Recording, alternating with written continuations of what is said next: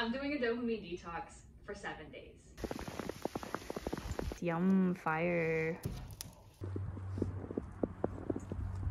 But is there a real need to detox dopamine?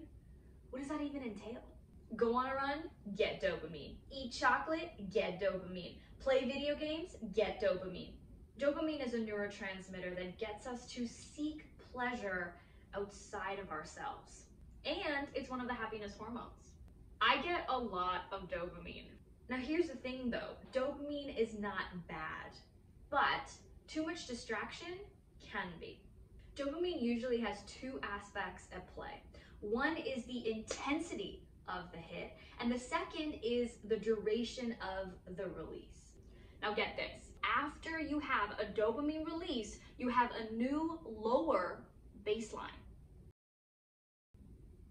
So, excess stimuli is training you to have a higher requirement to receive pleasure. Because of this unique feature of dopamine, some ways of dopamine release are sustainable and others not so much. For me, the biggest cause of distraction, yet pleasurable addiction, comes from my phone. Dun dun dun. I usually like to say to myself that my phone connects me to you, a positive narrative. But the truth is, my work connects me to you. My usual routine on my phone is Instagram, YouTube analytics, and email. Sometimes, if my phone is in sight, I can be stuck in this loop every 10 minutes. Waste of time. Now, for those of you saying, well, put your phone in another room, Shin. Yes, I've tried that, and that has taken my screen time down from 4.5 hours to three hours, which is great success, but it's not where I want to be. I still have this unsustainable dopamine craving system. Now, according to James Clear, the author of Atomic Habits, your environment impacts your habits more than anything else. So, I changed my environment. We're, we're on the way, we're going up north, and we're gonna reestablish some good habits, and I'm looking forward to disconnecting. Since I'm going to a smaller place away from the city, I'll also be curbing my daily pleasures such as workout variety or other screen time such as gaming. The first order of business was to delete my Instagram and YouTube Analytics app so that I would not be able to access it even if I did succumb to my craving. I'll be keeping my phone in another room, checking my email twice a day, and working on my laptop for focused work. The longer nature walks and runs were rejuvenating. Sometimes I like to listen to music on my runs, but again, that increases the criteria required for a good run. So, just the sounds of nature.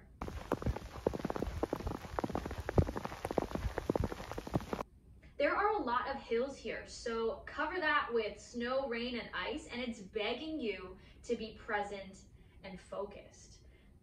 I also noticed that I slept better throughout the week. High sleep scores all around. Oh, oh.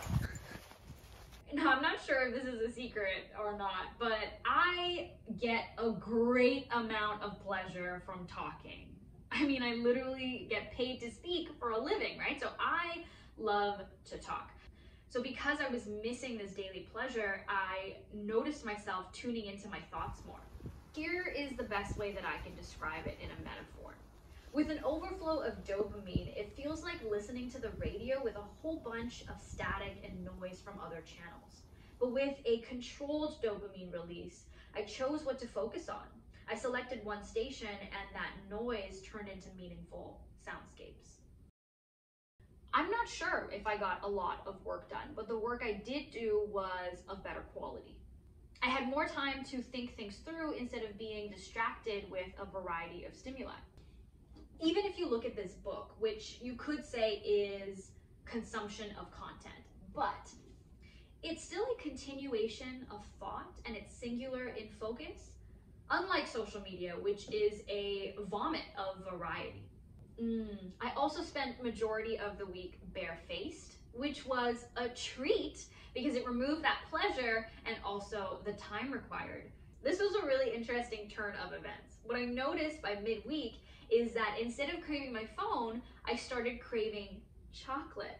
So it was like my mind subconsciously substituted chocolate for my phone. It's like, how else can I seek pleasure? Ah, we have chocolate. Eight mini bars. We ate it all. So consciously, I started to substitute chocolate for decaf tea. The one thing I could have done differently is to have made my diet simpler to reduce the food novelty, um, especially by removing chocolate. Here was my rationalization for keeping chocolate in, which could totally be an excuse, but hear me out. So, according to Andrew Huberman from Huberman Lab, if you remove all of your pleasures, all of the dopamine releasing events from your day, then you're naturally going to feel low. You're gonna have a lower mood.